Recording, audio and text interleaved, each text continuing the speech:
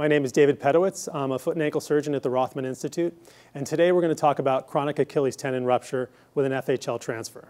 This case is a 78-year-old male who is a year and a half out from a primary Achilles repair. He presented with weakness and push-off, and then relayed to us a new history of having fallen early in his initial postoperative period, where maybe he felt a stretching out, but he thought nothing of it. He presented with a well-healed incision, but a positive Thompson test, a normal gait, but couldn't single leg heel rise. He had a palpable thinning underneath his incision. As you can see here in the MRI, there's an Achilles tear, which is basically stretched out. This is probably when he felt that stretch after that initial surgery, and the MRI clearly shows that.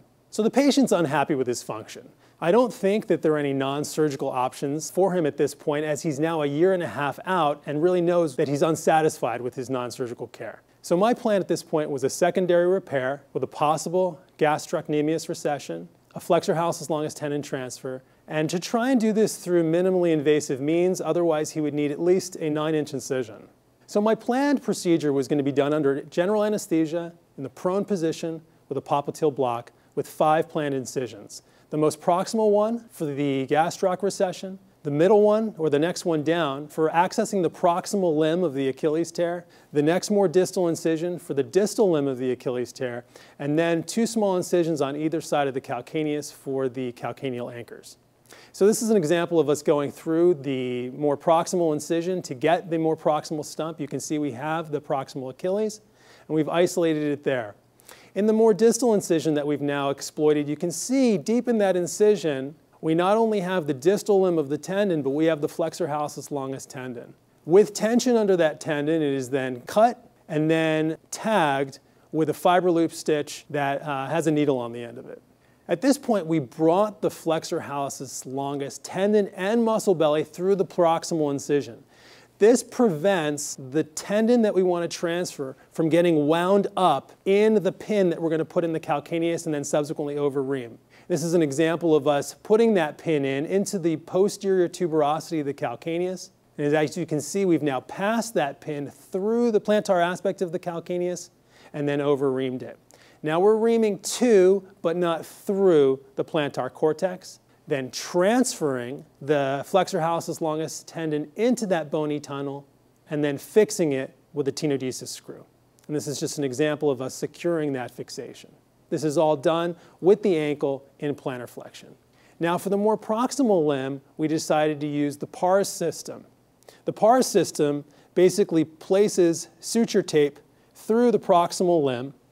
We are able to pass locking sutures, and those sutures are then brought through the more distal incision. We passed all five sutures through the guide. We then free up the sutures and then just pull out the guide. It's a little more resistance than you would think, but it's not terribly difficult. So at this point, we're going to place a suture passer through the distal limb of the Achilles, bringing the more proximal sutures through to the distal incision and then secure them with anchors. So this is an example of us using the PARS on this specific patient. We've brought the sutures through the proximal limb, and generally what we do is we cycle them approximately 17 times to get out any creep or slack that is still remaining in the system.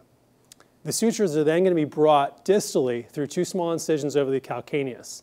And you can see right here that there's a little eyelet at the bottom of the suture passer. And this allows us to bring those more proximal sutures through the distal limb. This is what it looks like when you pull on those distal sutures, which then reapproximate the two tendon ends very nicely.